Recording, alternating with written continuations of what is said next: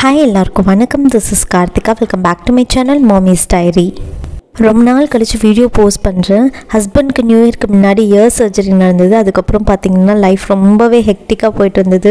Regular follow ups வேறு இருந்துச்சு ஹாஸ்பிட்டலில் அதுக்கப்புறமா அவங்களுக்கு திடீர்னு உடம்பு சரியில்லாமல் ஆயிடுச்சு. அப்புறம் எங்கள் எல்லாருக்குமே உடம்பு சரியில்லாமல் ஆயிடுச்சு. அதுக்கப்புறம் கொஞ்ச நாள் நல்லா போயிட்டு இருந்த மாதிரி இருந்தது. அதுக்கப்புறம் திடீர்னு ஹஸ்பண்டோட பாட்டி தவறிட்டாங்க. இந்த மாதிரி வந்து லைஃப் டவுனாகவே போயிட்டு இருந்தது. இப்போ கொஞ்சம் எல்லாமே செட்டில் ஆகிடுச்சு இனி வந்து வீடியோ வந்து கண்டினியூஸாக வரும். கண்டிப்பாக வந்து சேனலுக்கு சப்போர்ட் பண்ணுங்கள் இன்றைக்கி பார்த்தீங்கன்னா ஒரு வீக்கெண்ட் டே வந்து எப்படி போகுதுன்றது தான் உங்களோட இந்த வீடியோவில் ஷேர் பண்ணியிருக்கேன்.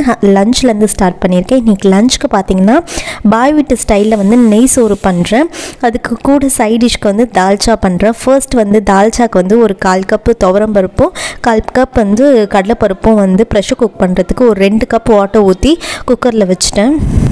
யூஸ்வலாக தால்ச்சாவில் மட்டன் சேர்ப்பாங்க நான் இன்றைக்கி வந்து வெஜிடேரியனில் செய்கிறேன் நான்வெஜ்ஜில் எப்படி செய்கிறதுன்னு சொல்கிறேன் ஃபர்ஸ்ட் வந்து நெய்ச்சோறு வந்து தாளிச்சிடலாம் அதுக்கு வந்து ஃபர்ஸ்ட் குக்கரில் வந்து ஒரு ஐம்பது எம்எல் நெய் சேர்த்துருக்கேன்.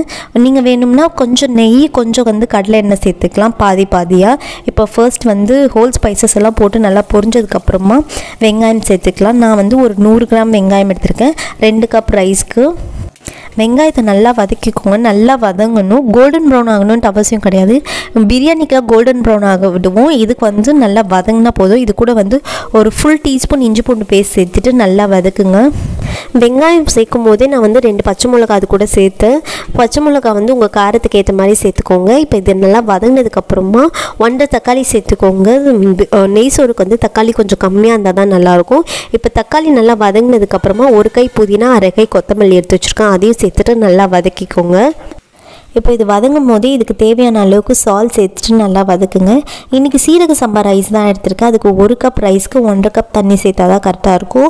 நான் ரெண்டு கப் ரைஸ் எடுத்திருக்கேன். மூணு கப் தண்ணி வந்து அளந்து வச்சுருக்கேன். அதை சேர்த்துட்டு நல்லா மிக்ஸ் பண்ணிவிட்டு ஒரு ஃபைவ் மினிட்ஸ் நல்லா கொதிக்க விடுங்க. இது நல்லா கொதி வந்ததுக்கப்புறமா நம்ம ரைஸ் சேர்த்துக்கலாம் அதுக்குள்ளே நம்ம தால்ச்சாக்கு ரெடி பண்ணிக்கலாம். கடாய் வச்சுட்டு நல்லா ஹீட் ஆனதுக்கப்புறமா ரெண்டு டீஸ்பூன் நல்லெண்ணெய் சேர்த்துக்கோங்க. நல்லெண்ணெய் கடலெண்ணெய் எது வேணாலும் சேர்த்துக்கலாம். எண்ணெய் சூடானதுக்கப்புறமா ஹோல் ஸ்பைசஸ் பட்டை கிராம்பு லவங்கம் இதெல்லாமே சேர்த்து நல்லா பொரிஞ்சதுக்கப்புறமா ஒரு பெரிய வெங்காயம் நீட் நீட்டாக கட் பண்ணி வச்சுருக்கேன். அதையும் சேர்த்துட்டு நல்லா வதக்குங்க. வெங்காயம் நல்லா வதங்கினதுக்கப்புறமா ஒரு டீஸ்பூன் இஞ்சி பூண்டு பேஸ்ட் போட்டு நல்லா வதக்கலாம். யூஸ்வலாக தால்ச்சாவில் வந்து மட்டன் சேர்ப்பாங்க. நம்ம இன்றைக்கி வெஜிடேரியனில் செய்கிறது செய்கிறதுனால இஞ்சி பூண்டு பேஸ்ட் போட்டு நல்லா வதங்கினதுக்கப்புறமா தக்காளி சேர்த்துட்டு நம்ம மட்டனை போட்டுட்டு வதக்கலாம். இன்றைக்கி வந்து நம்ம மட்டனை ஸ்கிப் பண்ணிட்டு வெஜிடபிள்ஸை மட்டும் சேர்த்துக்கலாம். யூஸ்வலாக தால்ச்சாவில் வந்து கத்திரிக்காய் மாங்காய் முருங்கைக்காய் எல்லாமே சேர்ப்பாங்க. நான் இன்றைக்கி வரையும் கத்திரிக்காய் மட்டும் சேர்த்துட்டு நல்லா வதங்கினதுக்கப்புறமா அரை டீஸ்பூன் மஞ்சத்தூள் ஒரு டீஸ்பூன் மிளகாத்தூள் சேர்த்துட்டு நல்லா வதக்குங்க. ஒரு அரை லெமன் சைஸ் புளி வந்து நான் ஊற வச்சு வச்சுருக்கேன். அதையும் இந்த மசாலாவில் சேர்த்துட்டு ஒரு ஃபைவ் மினிட்ஸ் நல்லா கொதிக்க விடுங்க. சைடில் நெய்ச்சோருக்கு வந்து தண்ணி கொதிக்க ஆரம்பிச்சிச்சு இப்போ அரிசி சேர்த்துட்டு உப்பு செக் பண்ணிவிட்டு நல்லா அரிசியும் தண்ணியும் வந்து ஒரே லெவல் வர வரைக்கும் குக் பண்ணுங்கள் ஒரே லெவல் வந்ததுக்கப்புறமா நம்ம சிம்மில் வச்சுட்டு மூடி போட்டு தம் போட்டுடலாம். இப்போ ஒரு மிக்ஸ் கொடுத்துட்டு சால்ட் மட்டும் செக் பண்ணிக்கோங்க. இப்போ சைடில் தால்ச்சாக்கு பார்த்தீங்கன்னா புளி தண்ணி நல்லா கொதிக்க ஆரம்பிச்சிச்சு நம்ம வேக வச்சு வச்சுருந்த பருப்பும் கடலைப்பருப்பும் சேர்த்துட்டு ஒரு ஃபைவ் மினிட்ஸ் இன்னும் ஒரு ஃபைவ் மினிட்ஸ் நல்லா கொதிச்சதுன்னா தால்ச்சா ரெடி ஆகிடும் இப்போ சைடில் பார்த்தீங்கன்னா அரிசியும் வாட்டரும் வந்து ஒரே லெவல் வந்துச்சு. மூடி போட்டு ஒரு வெயிட்டான பொருள் மேலே வச்சுட்டு ஸ்டவ் வந்து சிம்மில் வச்சுட்டு பத்து நிமிஷம் குக் பண்ணிங்கன்னா நெய்ச்சோறு வந்து ரெடி ஆகிடும் சைடில் வந்து இங்கே வந்து தால்ச்சா வந்து நல்லா கொதிக்க ஆரம்பிச்சிச்சு கொத்தமல்லி போட்டு இறக்கிட்டிங்கன்னா தால்ச்சா ரெடி இப்போ சைடில் பார்த்தீங்கன்னா நெய்ச்சோறும் ரெடி ஆகிடுச்சு ஓப்பன் பண்ணி பார்த்துறேன் எவ்வளோ எப்படி சூப்பராக வந்து வந்திருக்குன்ட்டு இந்த நெய்ச்சோறு வந்து சிம்லர் டு பிரியாணி தான். பிரியாணி மாதிரியே தான் இருக்கும். ஆனால் இதில் கொஞ்சம் பிளாண்டாக இருக்கும். மசாலா ஃப்ளேவர் இருக்கும். காரம் வந்து கம்மியாக இருக்கும். அதுக்கு வந்து பேலன்ஸ் பண்ணுறதுக்கு இந்த தால்ச்சாவோட சாப்பிட்டிங்கன்னா சூப்பராக இருக்கும். நெய்ச்சோருக்கு வந்து பெஸ்ட் காம்பினேஷன்னு பார்த்தீங்கன்னா தால்ச்சா தான். கண்டிப்பாக ட்ரை பண்ணி பாருங்கள் நவிலன் வந்து சமைக்கும் போதே அழுதுகிட்டே இருந்தான். அவனை ஆட்டி தூங்க வச்சுட்டேன். இப்போ இவருக்கு மட்டும்தான் ஊட்டி விடணும். இவருக்கு ஊட்டி விடுறது தான் ரொம்பவே கஷ்டம். ஏதாச்சும் டைவர்ட் பண்ணி ஊட்டி விடுற மாதிரியே இருக்கும். நவிலன் வந்து அவனே வந்து வாங்கி சாப்பிட்டுடுவான். ஆனால் மகிழனுக்கு வந்து நம்ம வந்து ஃபோன் காட்டி இல்லைன்னா ரைம்ஸ் வச்சு அந்த மாதிரி தான் ஊட்டி விட்டால் தான் சாப்பிடுவான். இல்லைன்னா நம்ம ஏதாச்சும் பண்ணி டைவர்ட் பண்ணிக்கிட்டே இருக்கணும். கரெக்டாக நாங்கள் சாப்பிட்டு முடிக்கும் போது நவிலன் எழுந்துட்டான் அதுக்கப்புறமா அவனுக்கு ஊட்டி விட்டுட்டு அவனை தூங்க வைக்க ட்ரை பண்ணேன். பட் ஆனால் அவன் தூங்கவே இல்லை. ஒரு நாளைக்கு ஒரு வாட்டி தான் தூங்குவான். ரெண்டாவது தூங்க வைக்க ட்ரை பண்ணாலும் தூங்கவே மாட்டான். மகிழனை தூங்க வச்சோம். அவன் டக்குன்னு தூங்கிட்டான். அவன் பார்த்திங்கன்னா ஒரு செவன் ஓ கிளாக் கிட்ட தான் எழுந்தானே. எங்களுக்கும் செம்ம தூக்கம் வந்துகிட்டே இருந்துச்சு. தூங்கவே விடலை. அதுக்கப்புறம் ஒரு ஃபோர் ஃபோர் தேர்ட்டி இருக்கும். அந்த டைமுக்கு வந்து பால் வந்து சுட வச்சு கொடுத்தேன். சூடாக இருக்குடா கொஞ்சம் வெயிட் பண்ணுடா ஆற்றி தரேன்டான்னு சொன்னால் கூட கேட்கவே மாட்டான். அள்ள ஆரம்பிச்சிட்டான். அதுக்கப்புறமா அவங்க அப்பா கிட்ட கொடுத்துட்டேன். கிச்சனில் பார்த்திங்கன்னா மோஸ்ட் ஆஃப் த குக்கர்ஸ் எல்லாத்தையுமே வந்து நான் கேஸ்ட் எனக்கு மாற்றிக்கிட்டு இருக்கேன். இப்போ அது எல்லாமே வந்து ஒரு இடத்துல ஆர்கனைஸ் பண்ணி வைக்கணுன்ட்டு அங்கங்கே வைக்கிற மாதிரி இருந்துச்சு. இந்த மாதிரி கேபினெட்ஸ்குள்ளே நம்ம வைக்கும் போது நம்ம கீழே வச்சோம்னா நம்ம ஆல்ரெடி நம்ம ஆயில் வச்சு சீசன் பண்ணி வைக்கிறதுனால அது வந்து பிசு பிசுன்னு ஒட்டுற மாதிரி இருந்துச்சு. அதனால் எல்லாத்தையுமே வந்து நீட்டாக ஆர்கனைஸ் பண்ணுறதுக்கு அமேசான்லேருந்து கேஸ்ட் அயன் ஆர்கனைசர் வந்து ஆர்டர் பண்ணியிருந்தேன். அது இப்போ தான் வந்துச்சு. சரி அதை வந்து நம்ம ஆர்கனைஸ் பண்ணி வச்சிடலாம் அப்படின்ட்டு அதை எடுத்திருக்கேன். அந்த பிளேஸ் அந்த கேபினெட்குள்ளே வைக்கிறதுக்கு வந்து கரெக்டாக ஃபிக்ஸ் இருந்துச்சு. அதனால் இந்த பிளேஸில் ஃபிக்ஸ் பண்ணிக்கலாம் அப்படின்ட்டு. இப்போ வாங்கின இந்த க்ரில் பேன் அதுக்கப்புறம் ஃப்ரையிங் பேன் ஏற்கனவே வச்சுருந்த தவா அதுக்கப்புறமா ஒரு சின்ன ஃப்ரையிங் பேன் வச்சுருந்தேன். டீப் ஃப்ரை பண்ணுறதுக்கு அதுக்கப்புறம் பணியாரம் பேன் அது எல்லாத்தையுமே வந்து இதில் ஆர்கனைஸ் பண்ணுறதுக்கு பர்ஃபெக்டாக ஃபிட்டாக இருந்துச்சு. ரொம்ப ஸ்டர்டியாக தான் இருந்துச்சு. ஆடுற மாதிரிலாம் இல்லை. கீழே வந்து கொஞ்சம் வெயிட்டான பாத்திரம் வச்சுட்டிங்கன்னா நம்மளுக்கு மித்த எல்லாமே வந்து ஸ்டர்டியாக இருக்கிற மாதிரி இருக்கும். அதனால் கீழே வந்து அந்த க்ரில் பேன் வந்து ரொம்ப வெயிட்டாக இருந்துச்சு. அதனால் க்ரில் பேனை வந்து கீழே வச்சுட்டு மேலே வந்து ஃப்ரைங் பேன் அப்புறம் தோசை தவா அப்புறம் ஒரு டீப் ஃப்ரை பேன் இருந்துச்சு.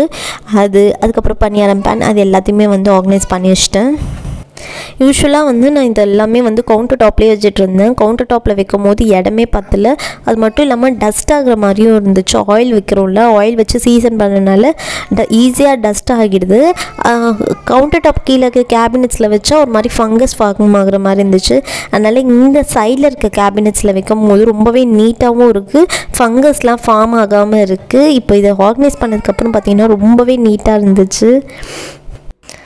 வீக்கெண்ட்ஸ்னாலே இதுதான் க்ளீனிங் ரீஃபில் பண்ணுற வேலை. இது எல்லாமே நம்ம வந்து செஞ்சு வச்சிட்டோமா? வீக் டேஸ் வந்து கொஞ்சம் ஈஸியாக இருக்கும். இன்றைக்கி வந்து ஆயில் பாட்டில் கொஞ்சம் ரீஃபில் பண்ணுற வேலை இருந்துச்சு. அது எல்லாமே ரீஃபில் பண்ணி வச்சுட்டேன்.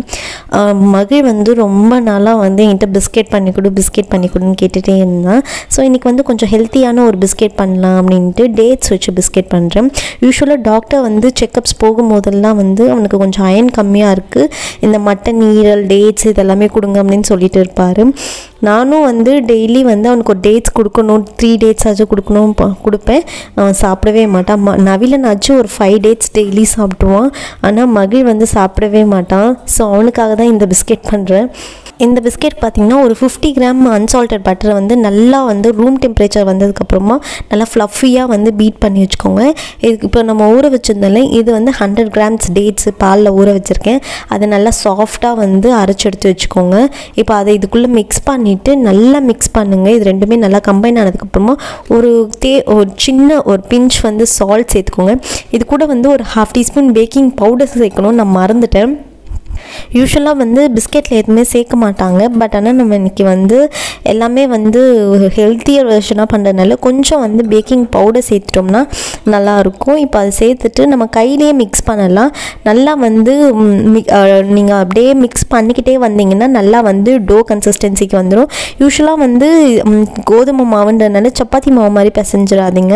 இப்போ ஃபர்ஸ்ட் ஒரு கப் கோதுமை மாவு போட்டு நல்லா பிசைஞ்சோம். இப்போ இது கூட வந்து ஒரு கால் கப் கால் கப்புக்கு கொஞ்சம் கம்மியாக கூட சேர்த்துக்கலாம். நான் கொஞ்சம் அதிகமாக சேர்த்துட்டதுனால இது கூட வந்து கொஞ்சமாக வந்து பால் தெளித்து நான் மிக்ஸ் பண்ணிக்க போகிறேன் இப்போ எல்லாமே டோ கன்சிஸ்டன்சிக்கு வந்துருச்சு. லைட்டாக வந்து ஒரு ஒரு டீஸ்பூன் பால் மட்டும் சேர்த்துட்டு நல்லா மிக்ஸ் பண்ணிட்டிங்கன்னா நல்ல ஒரு கன்சிஸ்டன்சிக்கு வந்து டோ ஃபார்ம் ஆகிடும் இப்போ அது பிரிக்கும் போது பார்த்து பிரித்து பார்த்தீங்கன்னு வச்சுக்கோங்களேன் ஈஸியாக பிரியும். இது வந்து க்ரம்பிள்டு டெக்ஸ்சர் இப்போ வந்து இதை பாதியாக பிரிச்சுட்டு நம்ம வந்து நல்லா வந்து திரட்டிட்டு நம்ம வந்து கட் பண்ணிக்கலாம். பிஸ்கெட் மாதிரி. இப்போ நான் பட்டர் பேப்பரில் வச்சுட்டு நல்லா வந்து மெலிசாக வந்து ரொம்ப திக்காக வேணால் ரொம்ப மெலிசாகவும் வேணால் ஒரு ஒரு பிஸ்கெட் எந்த சைஸ் இருக்குமோ அந்த அளவுக்கு வந்து நீங்கள் வந்து குக்கி கட்டர் இல்லைன்னா ஏதாச்சும் ஒரு ஷார்ப்பான மூடி வச்சுட்டு நீங்கள் பிஸ்கெட் வந்து கட் பண்ணி எடுத்துக்கலாம். நீங்கள் வந்து டேட்ஸில் வந்து அயன் ரிச் ரிச் ஃபுட்டு அதனால் வந்து கண்டிப்பாக வந்து அயன்ஸ் வந்து கம்மியாக இருக்கும் போது நீங்கள் வந்து குழந்தைங்களுக்கு வந்து டெய்லி கூட இந்த பிஸ்கெட் ஒரு ரெண்டு மூணு கொடுக்கலாம். கண் இது வந்து கோதுமை மாவு தான் செஞ்சுருக்கோம். மைதா கிடையாது. அது மட்டும் இல்லை ஆயில் கூட சேர்க்கல. பட்டர் தான் சேர்க்குறோம். எல்லாமே வந்து குட் ஃபேட் தான். அதனால் வந்து யாருமே பயப்படாமல் இந்த பிஸ்கெட்டை ட்ரை பண்ணி பாருங்கள் இப்போ வந்து ஒன் எயிட்டி டிகிரியில் வந்து டென் மினிட்ஸ் வந்து ப்ரீ ஹீட் பண்ணிவிட்டு அதுக்கப்புறமா ஒரு ஃபிஃப்டீன் மினிட்ஸ் வச்சுருக்கேன் நான்.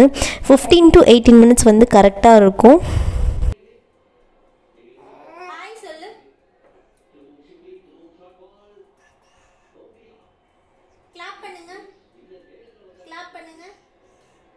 தலை இங்க இருக்கு? தலை இங்க பாப்பு? கண்ணடிங்க. கண்ணடிங்க. காது எங்க? காது காது. அது காதா சரி பாய் சொல்லுங்க. சூப்பர் கிளாப் பண்ணுமா? Okay okay okay okay super ஓ. ஏன் ஏறி ஏறி உட்காந்துக்கிறீங்க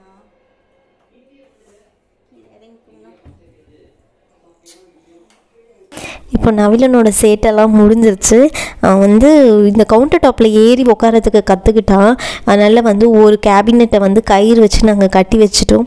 இப்போ வந்து பிஸ்கெட் வந்து ரெடி ஆகிடுச்சு பிஸ்கெட் நீங்கள் வந்து அவன்லேருந்து எடுத்த உடனே நீங்கள் வந்து சூடாக இருக்கும் போது உடச்சி பார்த்தீங்கன்னா சாஃப்டாக தான் இருக்கும். ஒரு டென் மினிட்ஸ் நல்லா கூல் ஆகட்டும். ரூம் டெம்பரேச்சர் வந்ததுக்கப்புறம் நீங்கள் வந்து உடச்சி பார்த்தீங்கன்னா வந்து பிஸ்கெட் வந்து நல்லா கிறிஸ்பியாக இருக்கும். இதை வந்து நீங்கள் வச்சு ஒரு த்ரீ டு ஃபோர் டேஸில் காலி பண்ணிடுங்க இது வந்து ஒரு தேர்ட்டி பிஸ்கெட்ஸ் வந்துச்சு. ஒ- ஒன்னே கால் கப் கோதுமாவுக்கு கோ- மாவுக்கு இதுக்கு மேக்ஸிமம் பார்த்தீங்கன்னா த்ரீ டு ஃபோர் டேஸில் காலி ஆகிடும் இந்த மாதிரி ஸ்நாக்ஸ் நம்ம வீட்லேயே பண்ணி வச்சுக்கிட்டோம்னா எந்த கில்ட்டும் இல்லாமல் நம்ம வந்து கிட்ஸ்க்கு கொடுக்கலாம். இப்போ நைட் டின்னருக்கு பார்த்தீங்கன்னா இடியாப்பமும் வெஜிடபிள் ஸ்டீவும் பண்ணலாம் அப்படின்னு நினச்சேன். ஆனால் ஹஸ்பண்ட் வேணான்னு சொல்லிட்டாங்க. அதனால் தேங்காய் பாலில் வந்து ஏலக்காவும் நாட்டு சக்கரையும் போட்டு ரெடி பண்ணி வச்சுட்டேன். இப்போ வந்து அரிசி மாவில் உப்பு போட்டு கலந்துட்டேன். இப்போ நல்ல சூடாக இருக்கிற தண்ணி ஊற்றிட்டு நம்ம கரண்டி வச்சுட்டு நல்லா மிக்ஸ் பண்ணிகிட்டே இருந்தோம்னா மாவு நல்லா திரண்டு வந்துடும் மாவு நல்லா திரண்டு வந்ததுக்கப்புறம் நம்ம கை வச்சு பிசைஞ்சோம்னா கரெக்டான கன்சிஸ்டன்சிக்கு வந்துட்டு பிசைஞ்சிட முடியும். தண்ணி வந்து கொஞ்சம் கொஞ்சமாக ஊற்றி பிசைங்க. நிறைய தண்ணி சுடு தண்ணி ஊற்றிட்டிங்கன்னா நம்மளுக்கு வந்து மாவு ரொம்ப சாஃப்டாக ஆகிடும் அதுக்கப்புறம் வந்து நம்ம புழியும் போது பார்த்திங்கன்னா உடஞ்சிரும். அதனால் வந்து டைட்டாக இருக்கணும் மாவு பிசையும் போது. இந்த மாதிரி இந்த மாதிரி டைட்டாக இருந்துச்சுன்னா ஈஸியாக நம்மளுக்கு புழிய வரும்.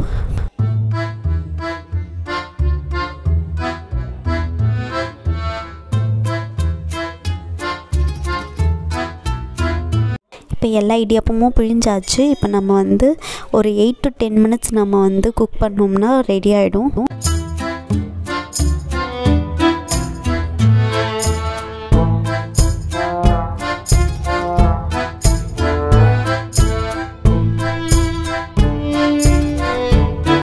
டென் மினிட்ஸ் ஆகிடுச்சு இடியாப்பம் சூப்பர் சாஃப்டாக ரெடி ஆயிருந்துச்சு நான் சின்ன சின்ன இட்லி மாதிரி இட்லி தட்டில் பிழிஞ்சு வச்சுருந்தேன்.